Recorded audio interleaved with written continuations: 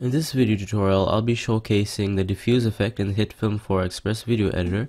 So you go to effects, you then go to the blurs folder and choose diffuse.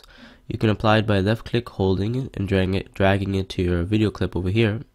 And what this particular effect does is kind of like uh, make a blur, sure, but kind of uh, in a misty or cloudy fashion. And this particular blur is very good if you want to reenact a scene where it's kind of dreamlike if you want to uh, reenact someone's dream or if you want to make a movie scene that is uh, like uh, for someone member remembering their own past and so this is um, this is what I'd imagine to be good uses for this particular effect. You have a couple of options over here radius and opacity. If you increase the radius you increase like the radius of the blur until they start overlapping and then you can't really see much of a difference as you can see.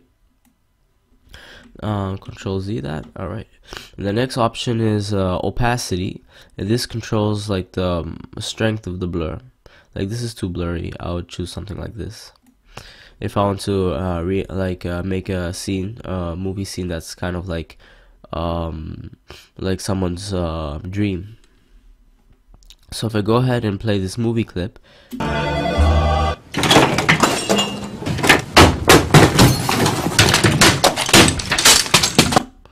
you get a real feel of uh, uh, the ambience that this diffuse effect makes.